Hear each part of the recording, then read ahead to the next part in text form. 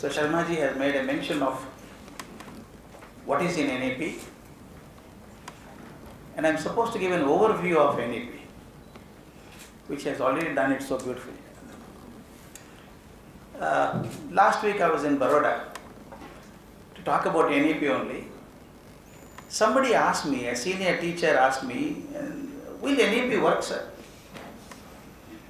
We have so many commissions happened before, so many reports came, not much change has happened. Will NEP work? I told him my love stories, I told a story. There was a great sage doing tapasya in the cave up in the mountains. And few boys in the town thought we should test that man. He's supposed to be a Trikalajnani, he knows everything. We should go and test him. Four of them went up the mountain. As they went close to the cave entrance, one boy saw a small little insect flying in the air. He just caught it up. He caught the small insect in his hand and walked inside the cave, and all four sat there. And one boy asked Swami, this uh, sage, Sir, it seems that you know everything. Even unseeable can be seen by you. Can you tell me what is in my hand? What is in my hand? Guru closed his eyes for a minute and then it's just common sense. You can't have a big thing in the hand, it must be a small insect. He said, You have a small insect in your hand. The boy said, Right. Second question is more important. Is it alive or dead? Then the sage thought for a moment, these boys have come to test me. They want to prove me wrong in any case. If I say the insect is alive, you will crush it. If I say it's not alive, you will fry it. In any case, I'll be proved wrong. The sage was a wise man. He said, whether it's alive or dead is in your hands. if you want it to be alive, it will be alive. If you want it to be dead, it will be dead. Same thing with NEP also. If all the teachers, if all the teachers want it to be successful, it will be successful. If you don't want it to be successful, it cannot be successful. If believe me, every policy is wonderful. Lot of thinking has gone behind every policy, but how we implement is important. Ultimately, Professor Sharmaji mentioned nicely at the end, he said, implementation is more important. I want to give you a small summary of it, not much of it. Uh, it talks about the four pillars, most important. Five pillars of this access, equity, quality, affordability, and accountability. These are the five pillars on which the whole NEP is standing. And another most important aim in higher education of the NEP is to increase the gross enrollment ratio to 50% by the time we reach 2035, including the vocational education has to go up. For a country like India, with 1.4 billion people, 50% is not very ambitious. It looks ambitious, but it should be natural. It should happen. At least 50% of our students should be able to go to higher education. And the demands that number of seats to be created in higher education is about 3.5 crores seats are to be created in higher education.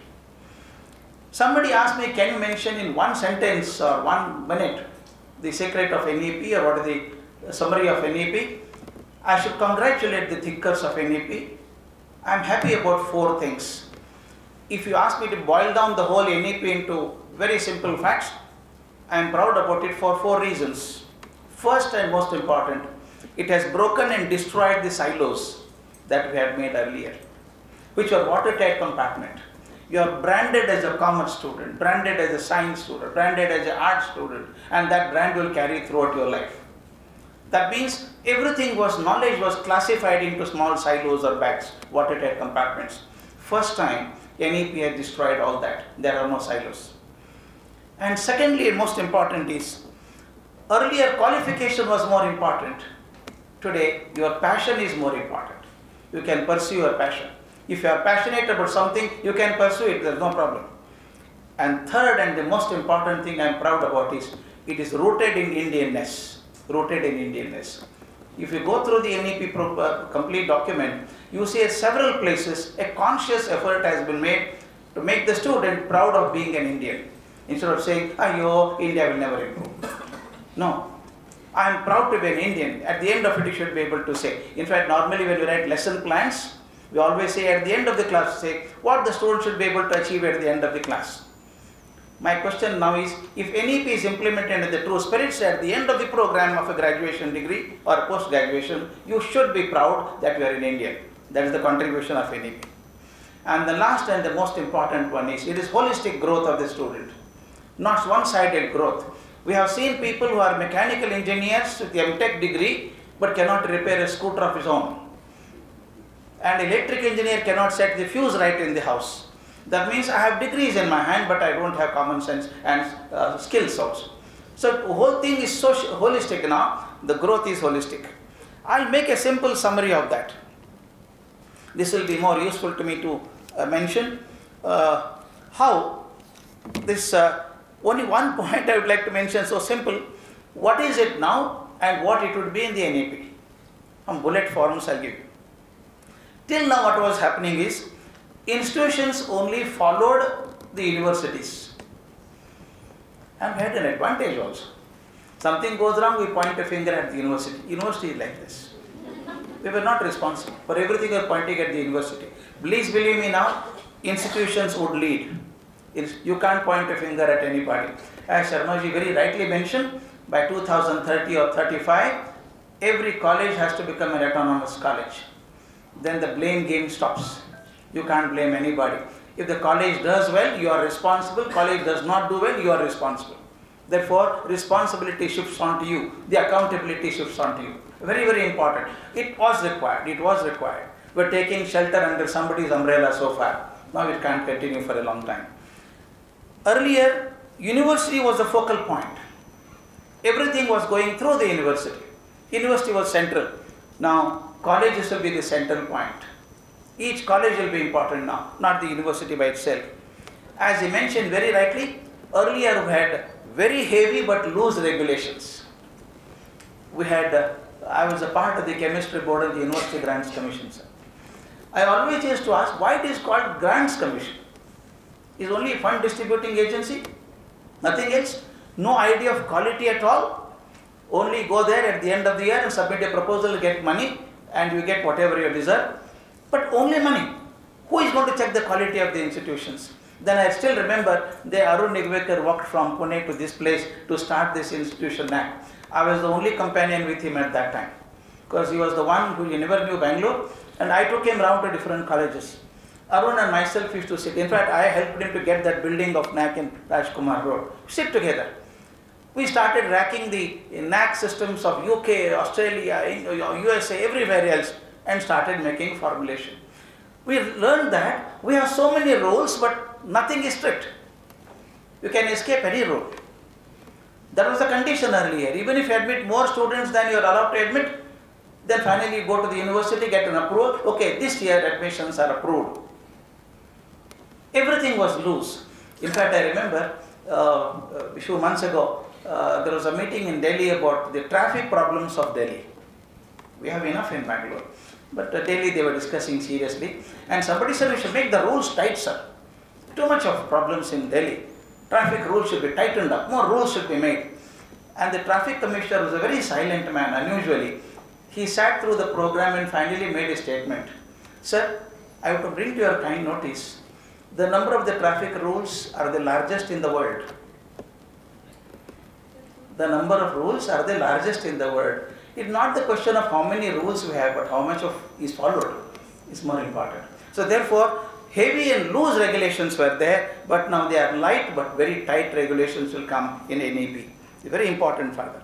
The next one is uh, each regulatory body had many functions earlier. As I mentioned earlier, same thing was done by so many bodies. Or one body was doing too many jobs. But now they have created a body such a way, one function for each body. And we had a rigidly ruled system earlier, very rigidly ruled system. Now flexibility is the mantra. Lot of flexibility has come in now. You can choose subjects of your choice, you can take combinations of your choice, and you want to learn something new at the end, you can drop one subject and take another subject. Ultimately, it depends on how you learn. The present system, you get degree at the end of three years. You can't get the degree earlier or certificate earlier. If you fail in the first year, is incomplete BA, BSc, BCom. I have seen many of my students, girls in the college, They dropped out after second BA, but they remained, they did not complete BA at all. So they don't recognition for the two years effort they had put in. There is no effort, uh, recognition for that. That means you have failed, completed two years but could not complete the final year, but there was recognition of that. You still remain BA failed or BA did not complete. But now it is not so. Certification at the end of each year you get a certificate or a diploma or a graduation certificate. You get depending on how many years you complete. This is the most beauty of uh, NEP. Earlier, you had to take some subjects whether you like it or not. Am I right? Uh, PCM combination, CBZ, or whatever combination you chose. I didn't like mathematics, but I had no option. I didn't like physics, but I had no option. Remember, many students in rural areas failed because of English. Am I right? They were extremely good in other subjects, but the English they could not follow. But they could not complete degree because they were not good in English. It's as good as saying, a rabbit is beautiful but cannot climb the tree. But why are you forcing to climb, climb the rabbit to climb the tree? Now the system is different. You can choose subjects of your choice. When you take subjects of your choice, they are subjects of your interest. When you do something that you are interested in, you are definitely going to do better. I can tell you, uh, this system is to a large extent borrowed from the West, the concept of open combinations. In fact, uh, Richard Feynman, those of you who studied physics would know, one of the greatest uh, minds that we can ever think of, supposed to be more intelligent than Einstein, a gifted orator, his physics lecture series, Feynman lecture series, I think no teacher can do away without it. Feynman's subjects in graduation were, his subjects in graduation, listen to me very carefully, his subjects in graduation were particle physics, American history and Western music. Can you imagine a combination like that? But he was a genius. In music, he went to Brazil and learned drum beating and became a national champion of Brazil in drum beating. And he was an extraordinary lock opener. You could open any lock, including the presidential confidential locker. You could open in Washington, D.C. Genius of the but particle physics is the Nobel laureate in physics. You can imagine the genius has no bounds, but we limit it. For the fear of taking English, I don't complete my degree. Since I did not like mathematics, I do not get high scores. But now the choice is with you. Creative combinations offered by the colleges. Not only students choose the combinations of their choice, colleges also become creative now in creating new combinations. At least to survive, you should offer good combinations.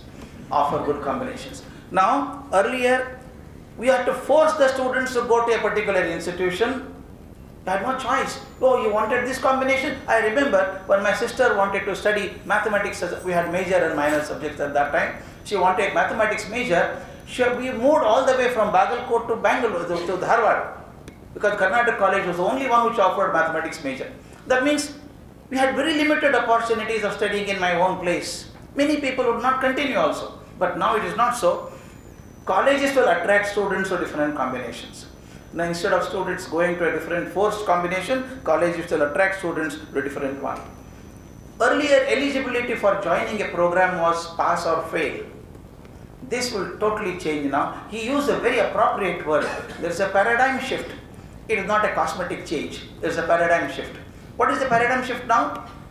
Pass or fail is not the criteria. The number of credits that you have got is the credit criteria.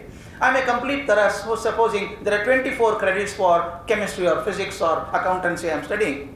I complete only 12. No problem. You have got the 12 in your ATM. You can encash them later, you can complete the remaining course later on. That means nothing called as a fail or pass. I completed the credits for it. They are in my bag. He called ABC, Academic Bank of Credits. They are with you. That means flexibility is so beautiful. Mobility is a challenge now.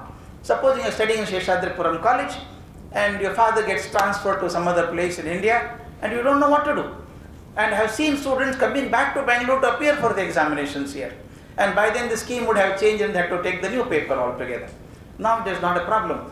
Like your ATM, you can put the money in the bank and draw it from any ATM station anywhere in the country. You can study here and study the same subject elsewhere in other college and the credits will be with you and carry forward.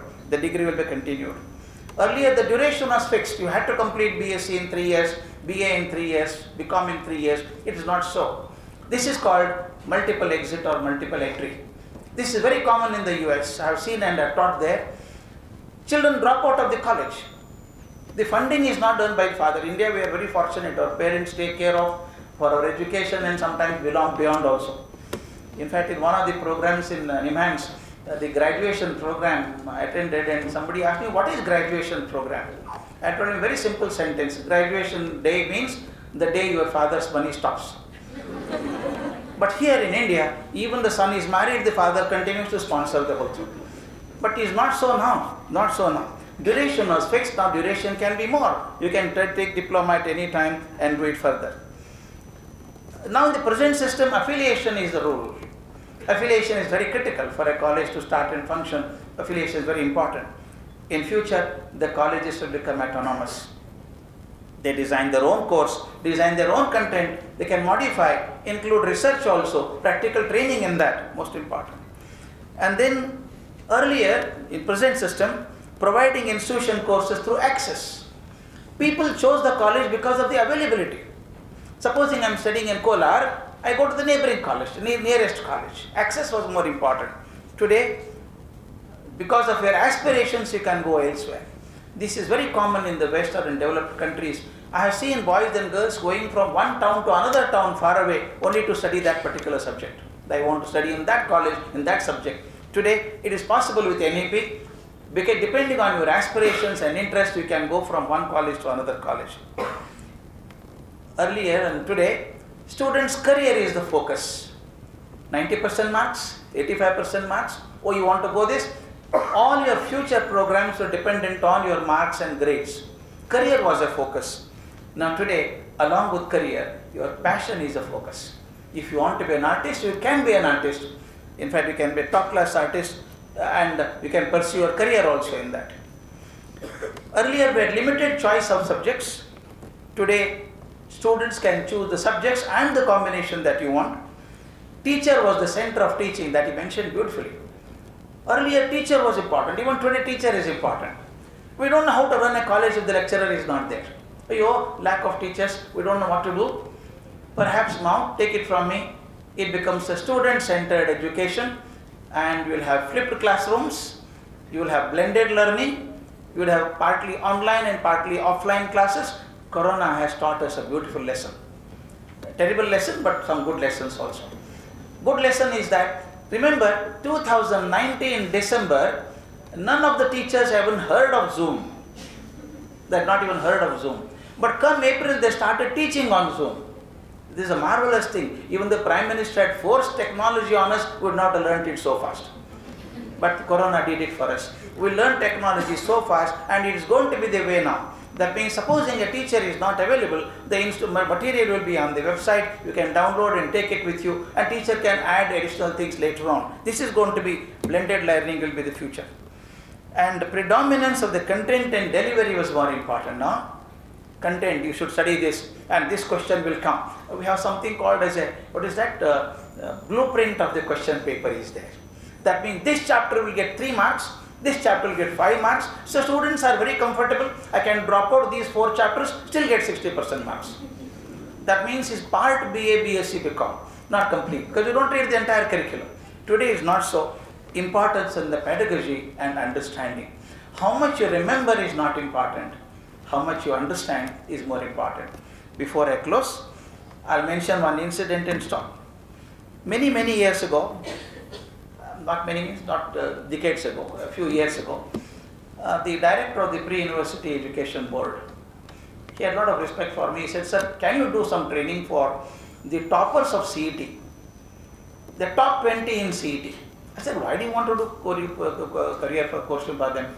They have already selected their courses. No, sir, some career focus you should do.